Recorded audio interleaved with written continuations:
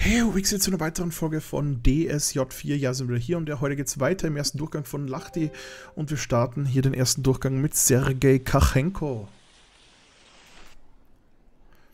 Der hier einen vernünftigen Sprung hat. Sogar, der war stark. 128 Meter, könnten das seine ersten Weltcup-Punkte sein? Wahrscheinlich ja, denn das, der Sprung war echt gut. Und damit sind wir den letzten punktelosen Springer los. Blöd gesagt, ne? Auch Philipp Sakala macht hier einen Sprung auf 122,5 Meter. Das würde ja nicht reichen, aber Kachenko wird heute wahrscheinlich die ersten Punkte machen in dieser Saison. Auch Muhammad Ali Bedi hofft mal wieder auf Punkte, denn so viele Punkte hat er auch generell noch nicht gemacht. Schaut heute auch nicht schlecht aus. 125 Meter, gute Noten. Wir werden sehen. Viel mehr vorne wird er nicht wirklich sein, aber er hat die Chancen auf jeden Fall dabei zu sein, so viel ist sicher. Daniel André Kakina, auch bei ihm, solider Sprung, viele gute Noten, aber ich glaube auch die Weite wird hier ihm eher die, die, den Strich durch die Rechnung ziehen. Ich glaube 125 ist so das absolute Minimum, würde ich behaupten. Vitali Kalnitschenko, naja, meistens von den drei Sprüngen, die er hatte, zwei gut. Hier ist der zweite schon schlecht, deswegen letzter Platz und das wird heute wahrscheinlich auch nicht für mehr reichen bei ihm. Decker Dean. Schafft es auch immer wieder mal, sich zu qualifizieren, aber es fehlt so ein bisschen die Explosion im ersten Durchgang meistens bei ihm und die hat er hier auch nicht. 120 Meter. Auch er rennt hier hinterher, denn rennen kann auch Randy Kaido, der als nächstes hier runter darf. Nur wie weit springt er hier runter? Kachenko führt auf jeden Fall noch immer, das ist sehr interessant. Nikaido jetzt nur auf 4. Ich glaube auch nicht, dass da viele sich qualifizieren werden, außer jetzt ein Kachenko bisher.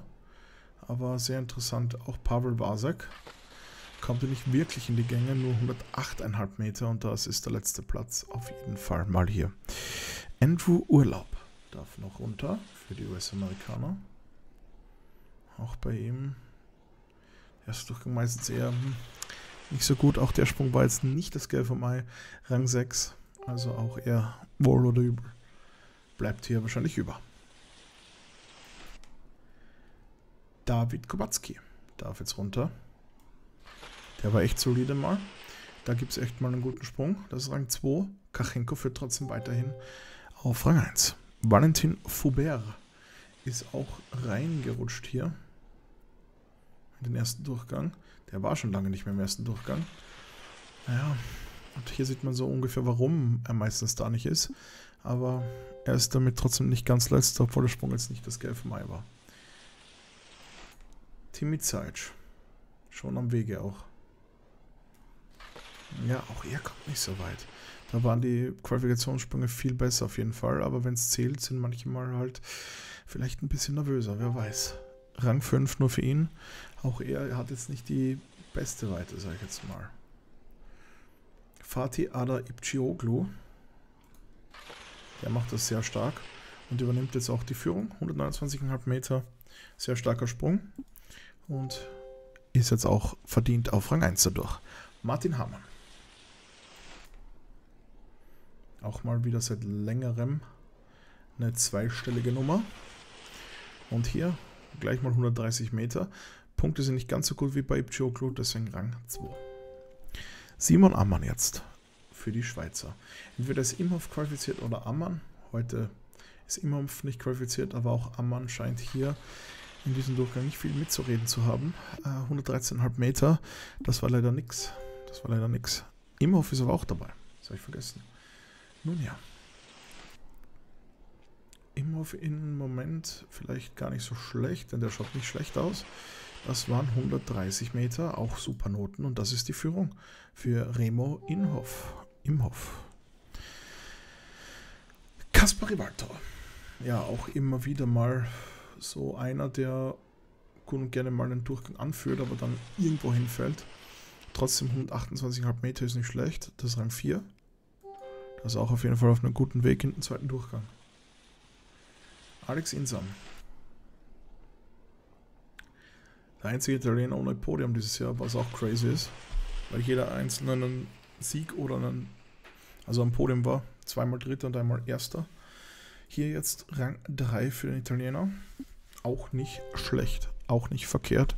Der ist auf jeden Fall gut positioniert für den zweiten Durchgang. Stefan Leier schon unterwegs auch. Bei ihm läuft es auch nicht ganz so.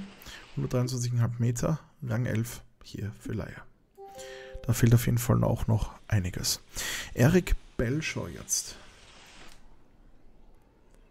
Ja.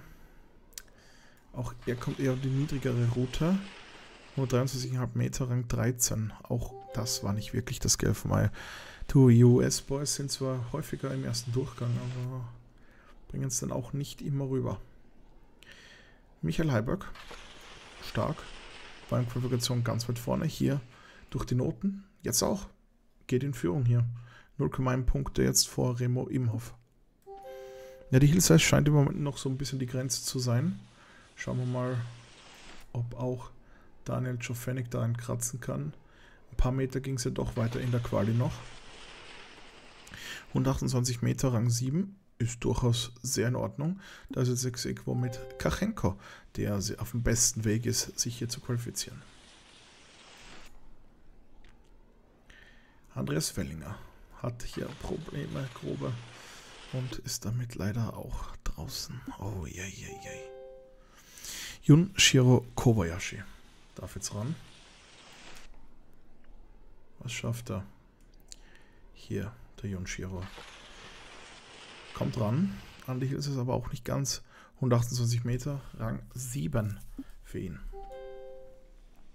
Nico Kytosaho ist genau die Hälfte des Feldes.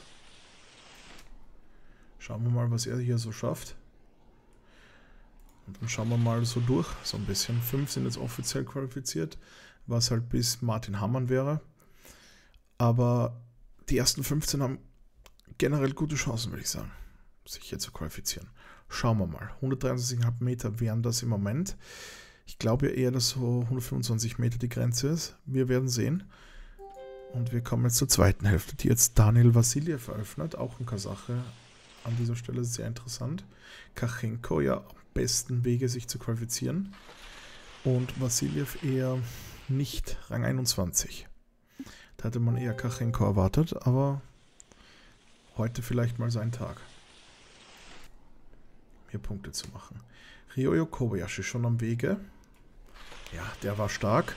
Das ist der beste Sprung bisher. 131,5 Meter. Lokalrekord Nummer 25 und das ist auch die Führung damit.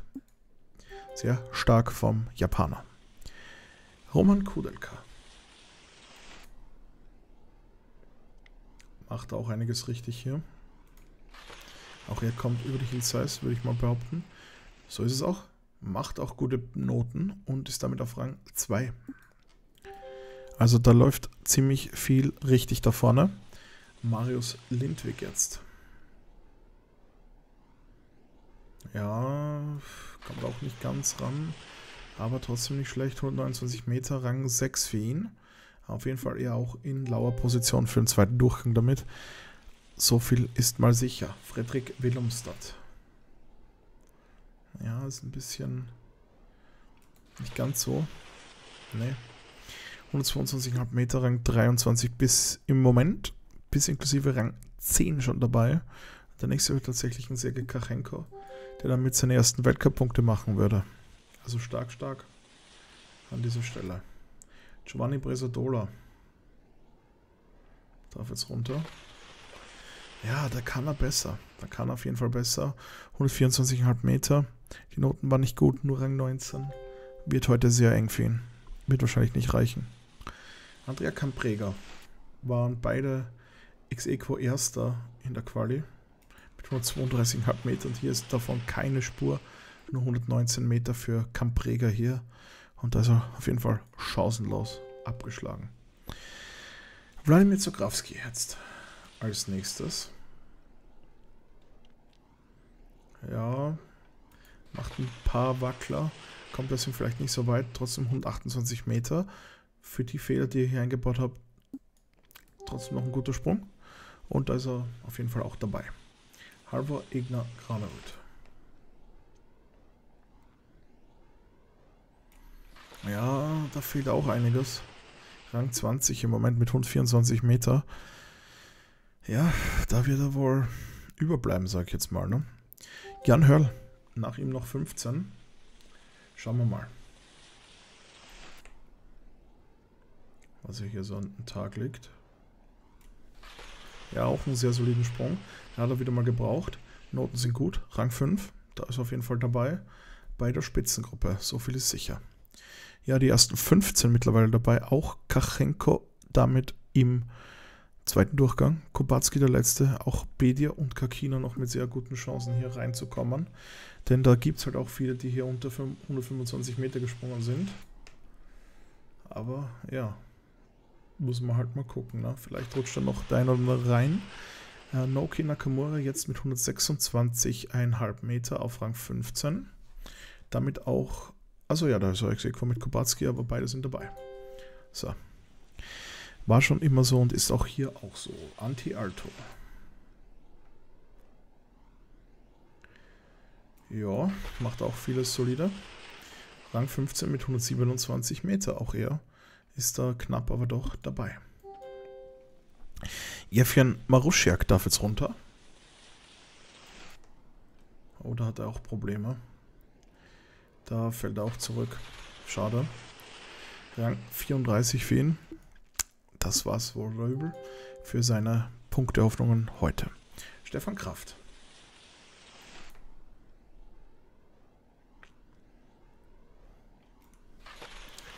Fehlt auch ein paar Meter. Rang 16 ist seine Positionierung. Na, kann es nur besser werden fast im zweiten Durchgang, denn da wird er ja an der unteren Hälfte starten. So wie es hier aussieht. Dann eine andere Tande. Kommt hier sehr gut raus. Hat er den Wind? Ja, hat er. Also das war gut. 131 Meter. Das ist der dritte Platz für Tande. Da setzt er sich mitten vorne rein. Weiter geht's mit Domen Prehutz und dem besten 10 des bisherigen Winters. Preutz Rang 22 und da muss er tatsächlich hoffen, dass er sich hier qualifiziert, denn Bedi rutscht jetzt rein. Preutz im Moment draußen. Da muss man gucken. Ance Lanischek. Der Gewinner des letzten Springerns. Macht das auch hier sehr solide. Landet nicht ganz vorne, aber ist auf Rang 11. Der ist auf jeden Fall wieder in lauer Position. So viel ist mal sicher zu sagen. Kamil Stoch jetzt, der auch er war sehr gut letztens. War auf Rang 2. Oder, ja, 2 war er, genau. Und landet hier jetzt auf Rang 17. Nicht ganz so gut, da hat er nicht wirklich so die Chancen jetzt auf den Sieg, sage ich jetzt mal. Oder auf dem Podium, aber er ist auch auf jeden Fall mit dabei von der Partie wieder im zweiten Durchgang. Johann André Vorfang. Der will sich so ein bisschen revanchieren für letztes Mal. Gelingt ihm auf jeden Fall. Die Grundlage dafür gesetzt. 130 Meter. Das ist Rang 5 für Vorfang im Moment. Auch da fehlt nicht viel nach vorne. Pius Paschke. Ah, das, das bei Paschke war auf einem Aufwärtstrend, aber ja, läuft im Moment anscheinend dann doch wieder nicht. Nur Rang 42. Robin Petersen darf jetzt runter. Robin Petersen hält auch nicht ganz weit vorne mit, aber trotzdem ist er nicht abgerissen. Naja, fünf Punkte sind fünf Punkte, ne? Aber es ist alles machbar, dass er zumindest auf dem Podium eventuell vorkommt. Wir werden sehen. Krieger de Schwanden, der war stark gefühlt. Kann diese Höhe auch halten? Jein. 130 Meter. Rang 5. Da ist er auch in einer guten Gruppe da vorne. Und ist auf jeden Fall in Podiumsnähe damit. Christopher Eriksen Sundal. Der war gefühlt noch stärker. Aber kann die Höhe dafür nicht halten. 128,5 Meter, Rang 14. Ja, ist in Ordnung. Zwei noch. Alexander Schniescholl jetzt. Der hat auch vieles zu zeigen hier. Ja, geht sich auch nicht ganz für vorne aus, aber Rang 22 Punkte nimmt er mit, aber ja, da muss er sich noch drastisch verbessern im zweiten Durchgang, um hier einen Impact zu machen. Denn es wird immer vieles, vieles immer knapper hier im Gesamtweltcup. Eto Nussiainen bei seinem Heimspringen kann auch eine gute Leistung zeigen. Er ist in lauer Position auf Rang 11. Da fehlt auch nicht viel nach vorne. Es sind nur zweieinhalb Punkte, die bis ganz nach vorne fehlen. Und das wird auf jeden Fall sehr, sehr knapp im zweiten Durchgang. Bis inklusive Dom und Preoz sind die Leute dabei. Das war noch knapp, da ist er noch gut reingerutscht. Aber alles, was danach ist, ist auf jeden Fall nicht dabei. Da sind ein paar bekannte Namen dabei. Zum Beispiel wie Piers Paschke. Auch Marusiak, der meistens vorne war, ist da nicht dabei. Und naja, wer ist dabei? Sergei Kachenko. Der wird heute seine ersten Punkte machen. Also GG mal an dieser Stelle. Starten wir diesen zweiten Durchgang jedoch. Ein bekanntes Gesicht. Domen Preutz. Mal schauen. Kann er jetzt einen guten runterhauen. Ich meine, zu verlieren hat er nichts. 30. ist er so oder so. Ganz so runtergehauen ist es nicht, aber 129 Meter ist auf jeden Fall deutlich besser als sein erster Durchgang, so viel sicher. Und mal schauen, was hier dann André Kakina auf den Teller bringt. Ja, der, den verschmeißt er. Nimmt wieder einen Punkt mit, aber mehr war das halt heute auch nicht. 99,5 Meter mit Abstand der kürzeste Sprung bisher. Muhammad Ali Bedia, der hat die Chance auch auf jeden Fall. Gut hier Punkte mitzunehmen. Schon länger nicht gepunktet, vielleicht kommt er das den unteren Vieren mal raus. Mit diesem Sprung wahrscheinlich eher nicht. Rang 2, trotzdem Punkte sind Punkte, die wir da mitnehmen. David Kubacki jetzt war auf Rang 25. Nach Durchgang 1. Ja, das war auf jeden Fall besser. 129,5 Meter.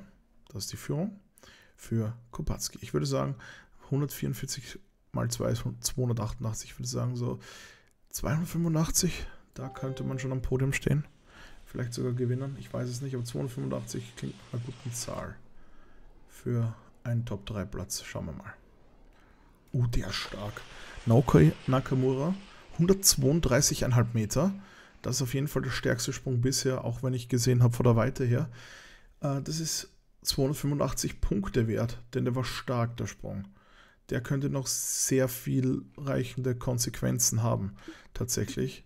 Wir werden sehen, was das noch wert war, der Sprung hier. Stefan Kraft jetzt.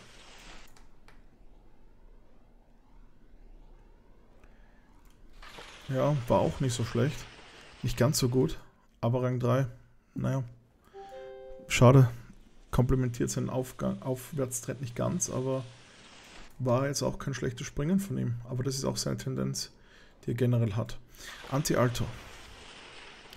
Manche sind halt immer wieder besser, ja, obwohl er sehr konstant ist. Sagen wir mal so. Anti-Alto war, ist jetzt auf Rang 2 mit 129,5 Meter. War im Gesamtweltcup noch vor Nakamura, aber ich glaube, es wird sich nach dem Springen ändern, denn Nakamura ist ein sehr stronger Kandidat im Moment. Alexander Schneescholl, ja, der macht hier auch keinen großen Impact. Der wird am Boden auf jeden Fall verlieren im Gesamtweltcup. So viel kann ich mal hier und heute sagen. Kamil Stoch. Denn da kommen noch einige, die in seiner Nähe waren von Schneescholl. Das wird ein großes Durchgemische wahrscheinlich nach dieser Folge werden. Wir werden sehen. Auch Stoch kann heute nicht wirklich einen drauflegen. Uiuiui. Ui, ui. So, jetzt kommt Sergei Kachenko. Der macht seine ersten Weltcup-Punkte hier. Wie viele werden es werden? Sein Sprung wieder wahrscheinlich nicht halten können vom ersten Durchgang. Nein, nicht ganz. Trotzdem solide Leistung. 123,5 Meter, das ist Rang 6.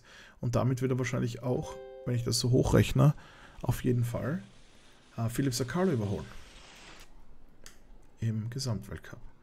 Daniel Czofenik unterwegs zu einem guten Sprung auch. 130,5 Meter. Kommt da nicht ganz ran an Nakamura, aber das war auch ein guter Sprung. Muss man hier ganz offenkundig zugeben. Und viel mehr war da auch wahrscheinlich nicht drin bei den Bedingungen. Robin Pedersen, der bräuchte jetzt eigentlich auch einen wie Nakamura, aber das bekommt er nicht. 126,5 Meter bekommt er. Das ist Rang 6, da fällt er auch zurück. Und die Big Player machen bisher nicht so die Big Punkte. Schauen wir mal, wie es hier weitergeht. Junshiro Kobayashi jetzt. So. Auch er kann dann nicht wirklich mithalten mit der Gruppe, mit der Spitzengruppe hier im Moment. Rang 5, trotzdem solide Leistung. Kann man nichts sagen. Im Moment. So, 17. Platz war nach Durchgang 1 Wladimir Zograwski. Ich glaube, da waren mehrere. Wenn ich mich nicht täusche, 128er kommen jetzt die ganzen. Und naja, der ist auf jeden Fall kürzer, auch Rang 7, obwohl er super Noten hatte. Rang 7, ja, das hilft halt nichts, ne? Das hilft halt nichts. So. Kaspar Rivalto war auf Rang 15 nach Durchgang 1. Und nach ihm sind tatsächlich nochmal 15 oben, denn er dürfte ex equo sein. Aber er schafft es bei seinem Heimspringern hier im zweiten Durchgang leider nicht nochmal einen draufzulegen. Schade. Da fällt er auch bis fast ans Ende zurück. So, die erste Hälfte ist unten. Naoki Nakamura Daniel Jofenik und Anti Alto sind im Moment die ersten drei. Weiter geht's mit Christopher Eriksen Sundal.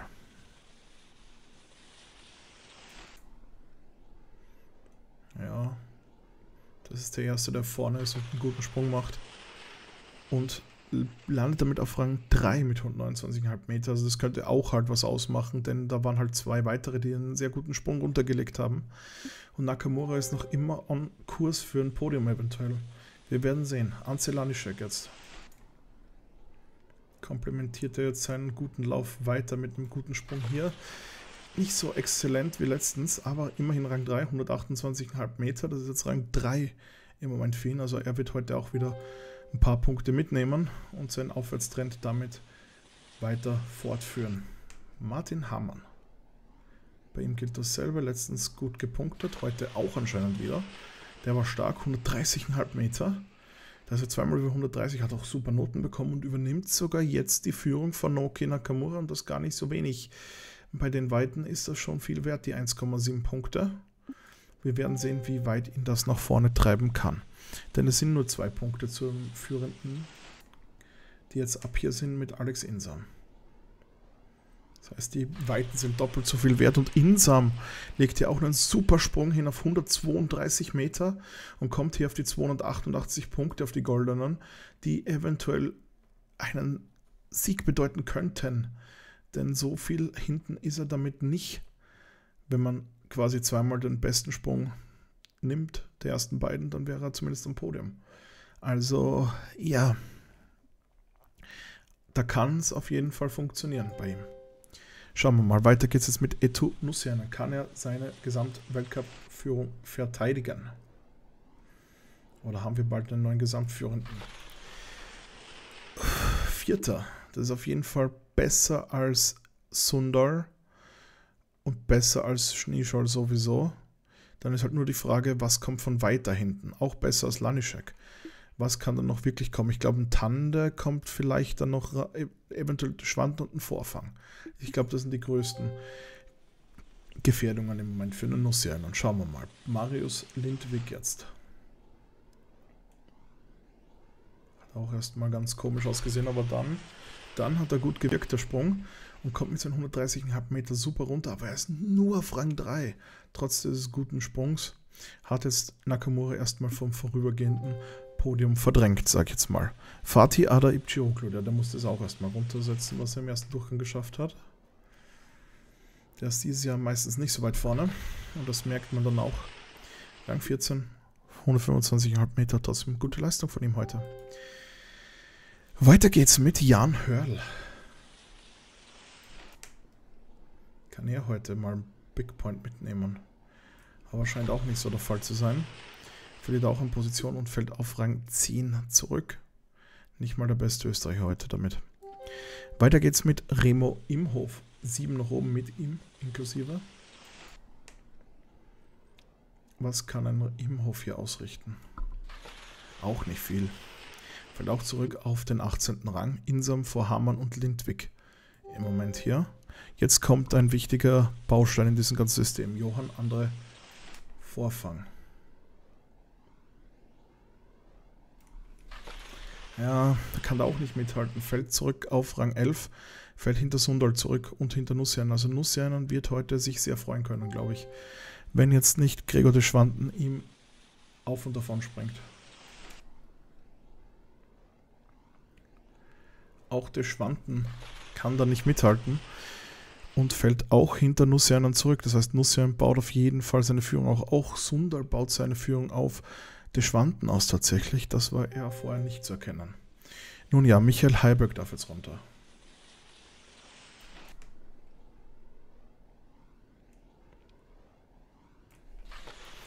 Auch er kann da nicht mithalten, fällt auf Rang 9 zurück. So, jetzt noch drei. Vorhin habe ich noch geredet und gelacht, dass Insam der einzige Italiener ohne Podium ist. Jetzt ist er kurz davor. Daniel Andretande. Uh, ja, nicht schlecht, aber geht sich nicht aus für die Führung. Aber er ist auf Rang 2. Exequo mit Martin Hamann. Insam schon mal fix am Podium. Was kann jetzt Roman Kudelka hier aussetzen? Der war auch gut im ersten Durchgang. Das wäre auch mal wieder ein Return, den keiner erwartet hätte. Aufs Podium, aber Rang 5 war nicht schlecht, aber Rang 5 und verdrängt damit Nussian nach unten. Das ist halt gut für die anderen Kollegen, denn damit macht er nicht zu großen Vorsprungsaufbau, sondern nur eher einen kleinen. Naja. Jetzt noch Ryoyo Kobayashi, der hatte aber auch nicht den besten Absprung und fällt leider auch weit zurück nämlich auf Rang 21. Das tut weh nach dem ersten Durchgang. Aber somit gewinnt hier Alex Insam vor Martin Hammann und Daniel Andre Tande, der hier auf Rang 2 kommt. Tande ist damit ein sehr ernstzunehmender Kandidat, wieder ganz nach vorne zu kommen. Schauen wir mal an, was es jetzt in der Gesamtwertung gemacht hat. Naja, nicht viel. In dem Sinn, die ersten drei sind gleich geblieben. Sundal hat halt Schneeschall überholt bleibt damit der beste der Jäger, sage ich jetzt mal. Nussianen führt vor Sundal Schnischol. Dann jetzt die Schwanden auf 4, Tande auf 5. Die sind auch noch dran, aber sonst ist der Abstand wieder ein bisschen größer geworden. Lanischek jetzt auf 6, der ist darauf gut vorne gekommen. Vorfang 7., 8., Petersen 9.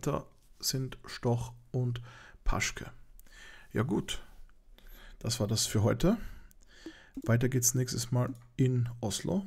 Und ich würde sagen, da sehen wir uns. Und bis dorthin springt schon brav weiter.